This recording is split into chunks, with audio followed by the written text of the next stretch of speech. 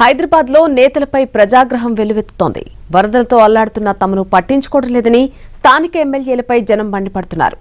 మూడు రోజులుగా నీళ్ళలోనే నరకం చూస్తుంటే కనీస సాయం అందించడం లేదంటూ ఆగ్రహం చెందుతున్నారు. అనుకోని విపత్తు ముంచెత్తినా ఆదుకోవాల్సిన ప్రభుత్వాలు ఏం చేస్తున్నాయని నిలదీస్తున్నారు. హైదరాబాద్ ముంపు ప్రాంతాల్లో పర్యటిస్తున్న అధికారులు ప్రజాప్రతినిధులకు చేదు అనుభవం ఎదురవుతోంది. ఎక్కడికక్కడ సమస్యలపై అధికారులు ప్రజాప్రతినిధులను నిలదీస్తున్నారు వరద బాధితులు పంపించాలా? నేను ఎట్లా మీకు కావాలన్నా? చెప్పండి. ఇంకొకటి ఏంటంటే మీ పేరు రాసి చచ్చిపోతాం అంతే. ఇంకోటి ఏంటంటే నేను చేసుకుంటే ఇంకోటి ఏంటంటే మీరేంటో ఇదే పెట్టాలి, మాకు చచ్చిపోతాం నేను. మా ఇంట్లో మాకు ఏం లేదు తెలుసా? ఒక్క బట్ట కూడా లేదు మాకు. మాకు చచ్చిపోతాం. అయిపోయినా కాదు, అయిపోయినా అంటే మా ప్రాబ్లం మీకు తెలియదు.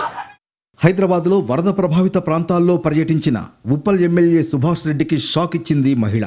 సమస్యలపై ఎమ్మెల్యేను నిలదీసింది. మూడు రోజులుగా తిండి తిప్పలు లేకుండా నరకం చూస్తున్నామని మండిపడింది. మేం బతకాలో చావాలో చెప్పండి అంటూ ఎమ్మెల్యేపై ఆవేదన వ్యక్తం చేసింది.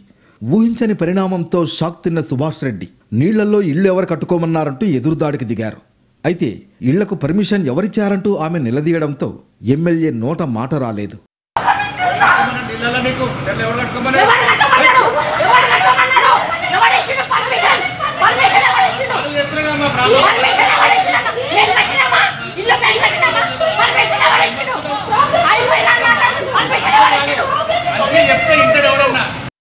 మూడు రోజులుగా తమ వద్దకు ఏ అధికారి రాలేదని రామాంతపూర్ రవీంద్రనగర్ మహిళ సుధారాణి ఆరోపించారు. మూడు రోజుల తర్వాత వచ్చిన ఎమ్మెల్యే సుభాష్ రెడ్డి సమస్యలపై ప్రశ్నిస్తే ఆగ్రహం వ్యక్తం చేశారన్నారు. మూడు రోజులుగా బట్టలు లేక పక్కింటి వాళ్ళిచ్చిన బట్టలు వేసుకున్నామన్నారు ఆమె. రోజులోకి వచ్చి నిన్న రాత్రి వచ్చి water bottle litre water bottle ఇచ్చిపోతే మేము ఏం తింటాము ఏం తాగుతాము? ఇల్లు మొత్తం తడిసిపోయింది మాకు ఏం సాయం చేయలేదని అడిగితే ఇల్లు ఎవరు కట్టుకోమన్నారు? మేము రెంట్కుంటున్నామండి నెలకు ఏడు వేలు రెంట్ పే చేసి మేము ఉంటున్నాము. మా పరిస్థితులు ఏంటి? మా మేము ఇప్పుడు ఈ జీరో మేము. మాకు అసలు కట్టుకోవడానికి కూడా బట్టలు లేవు ఈ రోజు మాకు. తినడానికి తిండి లేదు. మాకు ఇప్పుడు హెల్ప్ చేయాలా కానీ మమ్మల్ని వచ్చి వాళ్ళు నిలదీసిపోవడం ఏంటి సార్?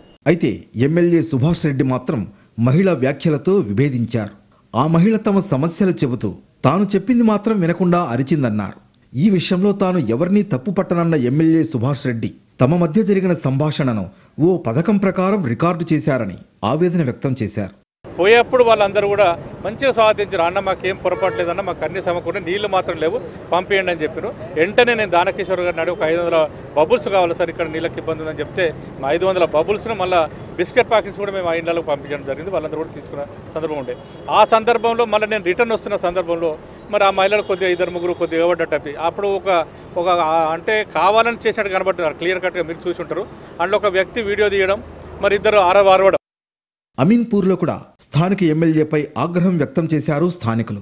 ముంపు ప్రాంతాల్లో పర్యటించిన అధికారులను నిలదీశారు. ఇళ్ళల్లోకి నీళ్ళు వచ్చినా అధికారులు పట్టించుకోవడం లేదని ఫైర్ అయ్యారు.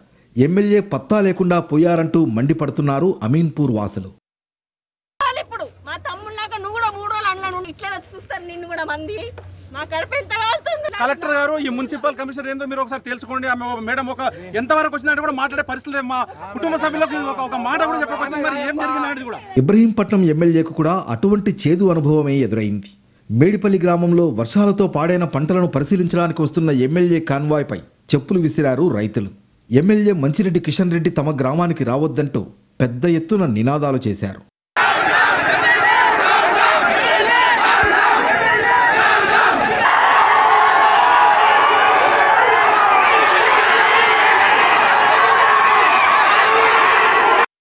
మొత్తం మీద వర్షాలు వరదలతో మూడు రోజులుగా ఇబ్బంది పడుతున్న ప్రజలు పరామర్శించడానికి వచ్చిన నేతలపై తీవ్ర ఆగ్రహావేశాలు వ్యక్తం చేశారు.